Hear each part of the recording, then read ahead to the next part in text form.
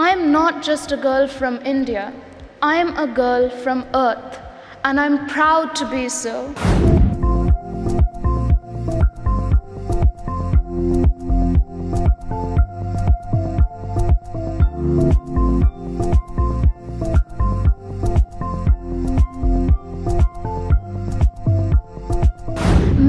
My generation are angry and frustrated at leaders who have made empty promises and failed to deliver.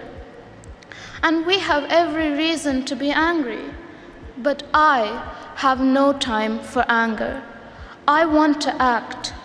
I'm not just a girl from India, I'm a girl from Earth, and I'm proud to be so.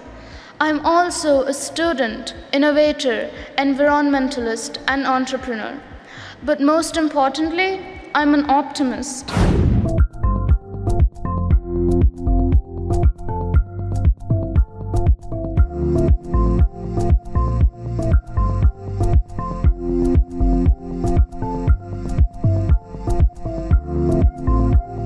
I, however, am not here to speak about the future.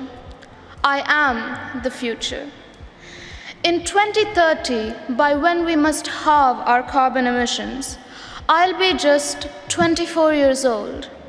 By 2050, when we will assess whether net zero has been achieved or not, I'll be in my early 40s. And by 2100, hopefully still going strong at 94. The point is that.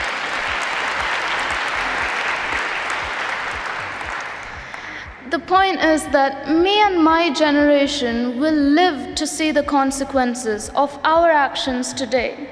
Yet none of what we discuss today